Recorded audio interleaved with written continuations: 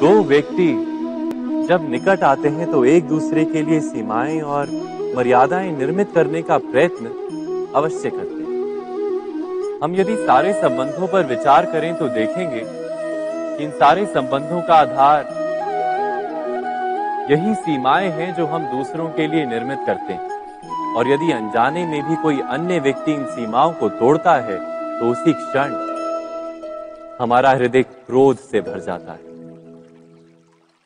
इन सीमाओं का वास्तविक रूप क्या है? क्या हमने कभी विचार किया? सीमाओं के द्वारा हम दूसरे व्यक्ति को निर्णय करने की अनुमति नहीं देते। अपना निर्णय उस व्यक्ति पर थोपते अर्थात, किसी की स्वतंत्रता का अस्वीकार करते हैं और जब स्वतंत्रता का अस्वीकार किया जाता है तो उसका हृदय दुख से भर जाता है।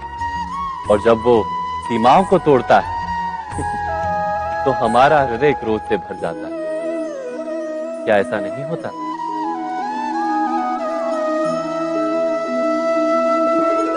पर यदि एक दूसरे की स्वतंत्रता का सम्मान किया जाए तो किसी मर्यादाओं या सीमाओं की आवश्यकता ही नहीं होती। अर्थात, जिस प्रकार स्वीकार किसी संबंध का देह है, क्या वैसे ही स्वतंत्रता किसी संबंध की आत्मा नहीं? स्वयं विचार कीजिए